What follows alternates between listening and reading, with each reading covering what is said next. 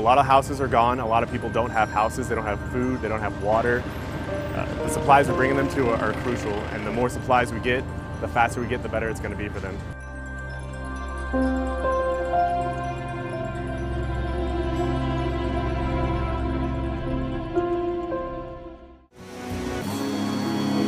And right now, our main focus is to deliver supplies, push out tents, foods, tarps to help the Nepalese people in the most destroyed regions of Nepal right now.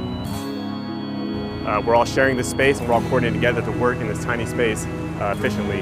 As far as the Nepalese army, they are escorting us every flight, putting out LZs, providing crucial routes while we're flying. Nepalese pilots are out there helping us with radio calls and stuff like that. It feels really great to be a part of AID. I've always wanted to help people my entire life, and it's such a difference seeing it firsthand.